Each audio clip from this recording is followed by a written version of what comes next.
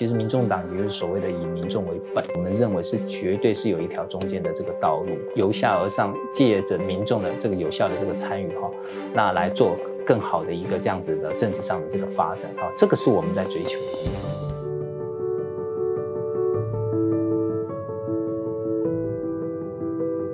自己是当然是从学术界来哈，我其实长期在这个学术界服务，大概已经超过二十几年哈。那我想我自己是学公共行政哈，那当然这个公共行政谈的就是政府管理哈。我想其实当然也非常感谢这几年在民众党这样的一个机会哈，进入立法院，那等于说其实公共行政真正在这个实实践的场域就是在立法院啊，所以我也非常高兴有这个机会哈，能够实际见证整个从不管从政策的这个规划，它的这个立法过程，然后他如何去执行面的这个，在比如说在国会的这个监督，所以这也是当时呃去来进行海选的一个初衷。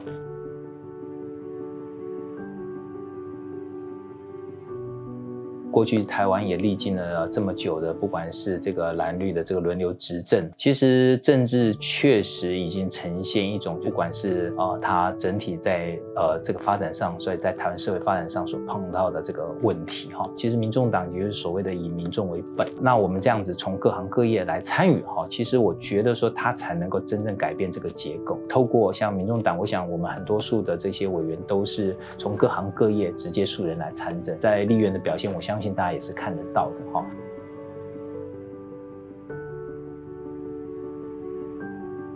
其实我想啊，就是台湾社会经过这么多年蓝绿轮流执政，其实我们确实是希望能够找出另外一条道路哈。那这个道路可能是要更理性、更务实。其实事实上，我们认为是绝对是有一条中间的这个道路，我们可以很务实的来处理一些，不管是整个政策上的这个问题，是民众党哈，或者甚至也是全民很大的一个期待。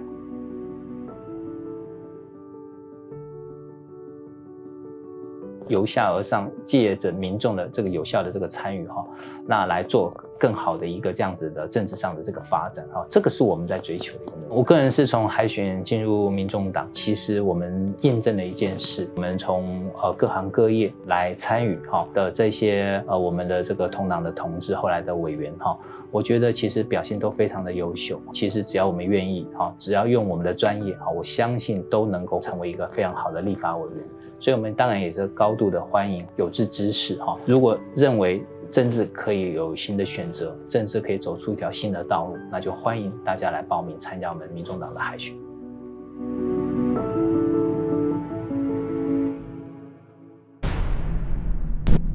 我有一件很重要的事情要跟大家说，那就是民众党四周年了。